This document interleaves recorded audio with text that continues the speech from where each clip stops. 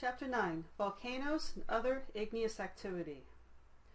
Volcanic eruptions. The factors that determine how violent a volcanic eruption is are composition of the magma, temperature of the magma, and dissolved gases in the magma. The viscosity of the magma is a measure of the material's resistance to flow. And those factors that affect the vis- viscosity are temperature. The hotter magmas are less viscous, okay, so they're resistant to flow, less liquidy. Okay, composition of silica content. High silica means very viscous, okay, uh, very resistant to flow, like the rhyolitic lavas. Low silica, or more fluid, are your basaltic lavas. Okay. Then dissolved gases, volatiles in that magma, which is mainly water vapor and carbon dioxide. Gases expand near the surface. They're able to easily escape, then the eruption will be less violent. But if they have a hard time escaping, like in rhyolitic lava, it'll be a more um, more disastrous eruption. Okay, so they those dissolved gases provide the force to extrude the lava out of the volcano. And the violence, like I just said, the violence of the eruption is related to how easily the gases escape from the magma. So easy escape from fluid magma and there and from viscous magma, it's more violent because gases can't easily escape. Okay. So lava flows. Basaltic lavas are more fluid. The types of lava flows you will see are Pahoehoe lava, which represents braids and ropes, and Aa lava, rough jagged blocks. Okay. Now gases in the lava, 1 to 5% of magma by weight of gases, mostly water vapor and carbon dioxide. So here's here's a Pahoehoe lava flow, and as the surface cools, you get this ropey appearance on the lava. Now, Aa lava this is blocky, chunky lava. It moves a lot slower. That's the Aa lava. Okay. You also have pyroclastic materials. These are materials that, that uh, eject out of the volcano. Now we call it the fire fragments. And types of these materials, we, we, um, we differentiate be, between them by size of particle. So you may have very fine glassy fragments which are ash and dust. You might have chunks of pumice, these rocks full of, of holes that they're from like a frothy lava and they're very light in weight and the pumice can actually float in water. Lapilli is wallet-sized chunks and cinders are pea-sized chunks. Now particles larger than lapilli are blocks and bombs. A block is a chunk of hardened lava that gets ejected. A bomb is ejected as hot lava, so it'll actually form a streamlined uh, shape because it'll cool in the air in flight. So here's some samples of the size of volcanic ash and lapilli. So ash may be very small like this, and lapilli you get bigger chunks like this, and very full of full of holes. Okay, from air bubbles, air pockets. This is volcanic bomb from Hawaii. So it's ejected molten lava that solidified while it's flying through the air. That's why it forms this nice aerodynamic shape. Okay. Now features we find on volcanoes. We find conduits or pipes, which is where which carries the gas-rich magma to the surface. The vent is a surface opening connected to the mag magma chamber by a pipe. Then a crater is a steep walled depression at the summit. Now if that crater is greater than one kilometer in diameter, we call it a caldera. Okay. Other features, maybe we may have a parasitic cone on the side of a volcano, or fum fumaroles, so little um, little just plain vents on the, on the side of a volcano. Now there are three major types of volcanoes we're going to talk about. We'll talk about the shield volcano is a broad, slightly domed volcano, primarily made of basaltic lava, very fluid flowing lava. It's generally very large in size. For example, Mauna Loa in Hawaii is a large shield volcano. So you see it's a very broad, low volcano, very large. This one has a nice summit uh, caldera, very large caldera. Now here's a magma chamber with its pipes or conduits. Okay. And up here's the picture of, of the volcano. There's another diagram. Shallow. There's shallow. There's a shallow magma chamber, and, and here's a region of partial melting in the summit caldera. Okay. Another type is our cinder cone. They're built from ejected lava fragments, very steep slope angle. They're fairly small in size, and they tend to occur in groups. So here's a diagram of a cinder cone. We have our central vent coming up from the magma chamber, and it launches out, and ejects chunks, chunks of pyroclastic material that build up this volcano. There's a picture of cinder cone near Flagstaff, Arizona. Now composite cones are stratovolcanoes. Most are adjacent to the Pacific Ocean. For example, Mount Rainier, uh, Mount St. Helens, Mount Hood. Very large in size. They're built of interbedded um, bedding of lavas and pyroclastics. They might be alternating layers of lava and pyroclastics. The most violent type of activity, kind of very rhyolitic uh, lavas. Uh, um, so here's a diagram of a uh, stratovolcano or composite volcano. So you see with these interbed layers of, of lava flows and pyroclastic material, or magma chamber. Uh, we have a crater up here. Uh, we have a parasitic cone that's built up that kind of takes some of the, the magma away from the main from the uh, main eruption. Okay, here's a picture of Mount Fuji in Japan. So it's a very classic, composite volcano, very large, majestic. So there's a size comparison. So our Hawaiian Shield volcano is very large, not necessarily so tall. Our crater, our, our cinder cones are nice and small. They are large uh, composite cone volcanoes. Okay. Those composite cones often produce nuées ardentes. These are fiery pyroclastic flow. They have hot gases infused with ash.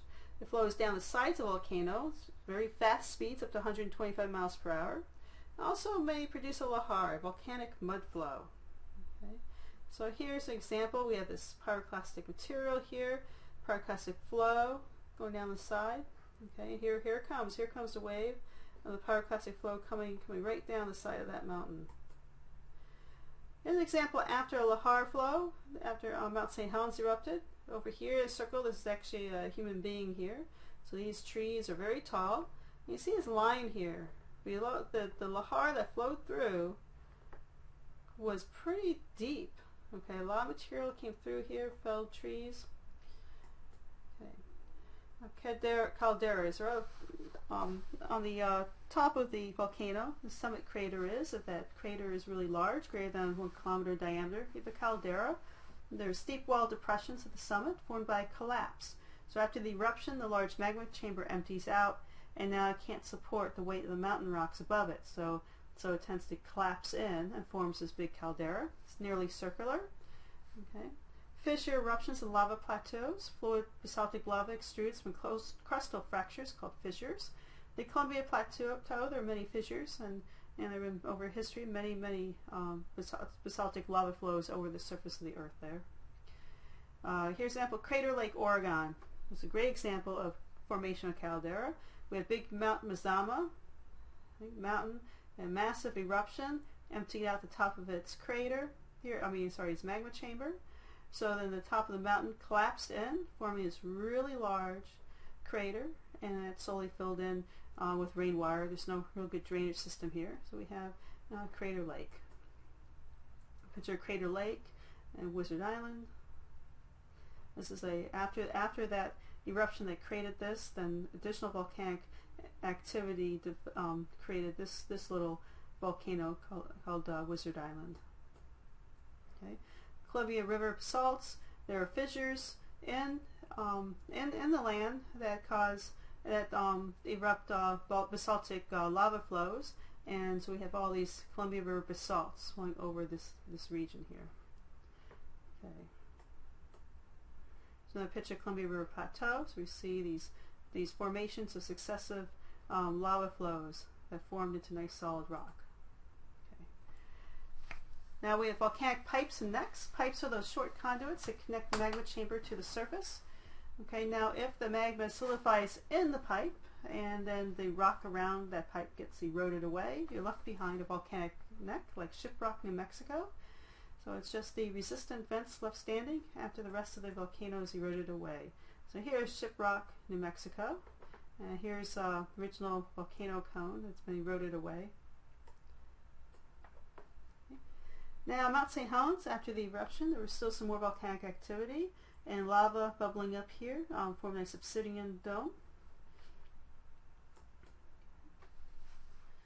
Okay, now that was all volcanic igneous activity. Now we also have igneous activity going on below the surface of the earth. So most magma is, is underground, okay?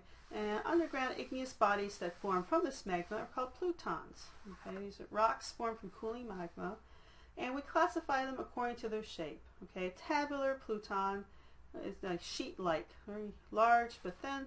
Okay, is um, is one kind, and then massive is a big bulbous bulb of of of uh, rock. Okay, now if a tabular um, pluton cuts across rock layers, that's called discordant. If if this uh, this tabular pluton cuts between features of sedimentary strata, we call concordant. Okay, so that tabular discordant uh, pluton that cuts across uh, sedimentary layers we call a dike, and the one that's concordant that goes between sedimentary layers we call a sill. Now laccolith is similar to a sill but kind of like like has a circular top, kind of like a mushroom cap, and it pushes up above it the um, the sedimentary layers above it. So here's the diagram here. So here with these large plutons here. Okay, here we've eroded away laccolith that had a mushroom cap shape to it. These sills are these the parallel to the other rock layers. Okay, and then these that cut across the sedimentary layers we call dikes. Okay. Here's an example of a sill out here in Arizona. This is uh, igneous rock here with sedimentary rock above and below it.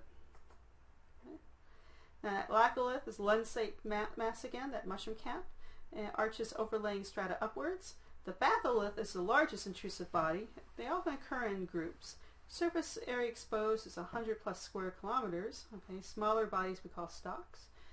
Frequently form the cores of mountains. So here are some big batholiths, and as the surface bone get eroded and they get lifted up, they they form these cores of these these nice granitic granitic mountains.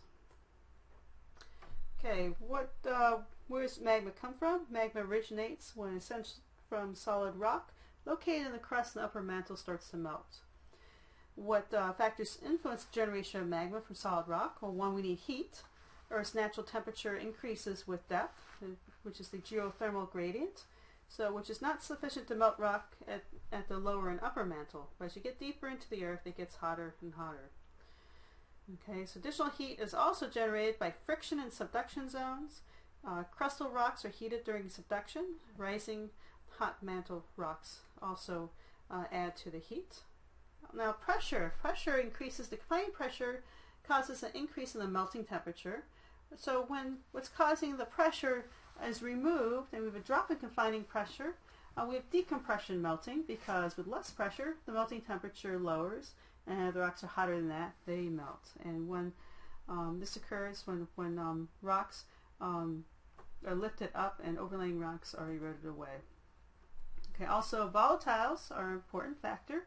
Primary water, they cause rock to melt to lower temperatures, and they play an important role in subduction ocean plates, because the water from the ocean gets subducted in with that, that crust.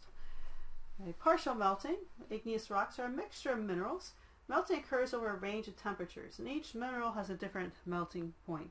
So, so as the minerals melt as the right temperature is reached, you end up with a magma with a higher silica content than the original rock because the silicas, the quartz and silicates, they will they will uh, melt at a lower temperature than the very mafic minerals. Okay. So where what's the, how's the distribution of igneous activity around the the Earth? It's it's not random. Most volcanoes are located on the margins of the ocean basins. Okay, especially the Pacific Ocean, the Ring of Fire. There's a secondary group confined to deep ocean basins, and a third group who those found on the interior of continents.